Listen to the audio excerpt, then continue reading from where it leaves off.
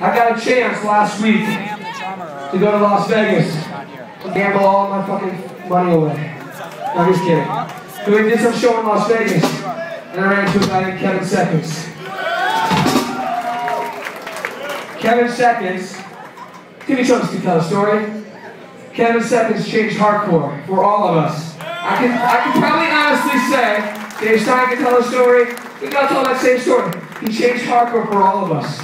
And he took that vicious, cruel edge, which was getting put around in the music scene, and made a scene within a scene.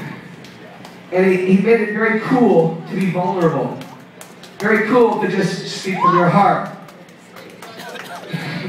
Yeah, I don't even know how to describe it. And part of me couldn't even remember it. I had good feelings, always had good feelings, until I actually heard them on stage, which I hadn't heard in years, and heard their songs.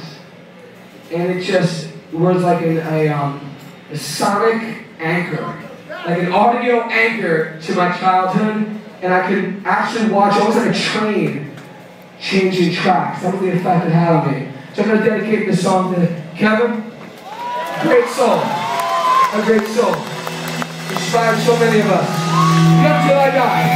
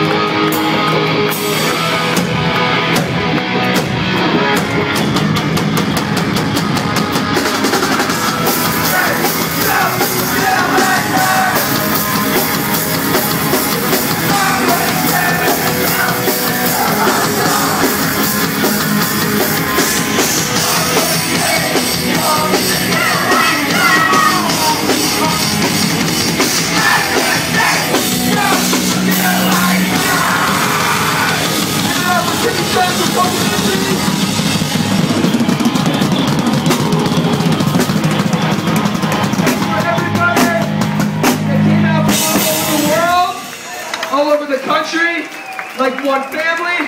Thanks so much. We're all fucking psyched to see Gorilla Biscuits.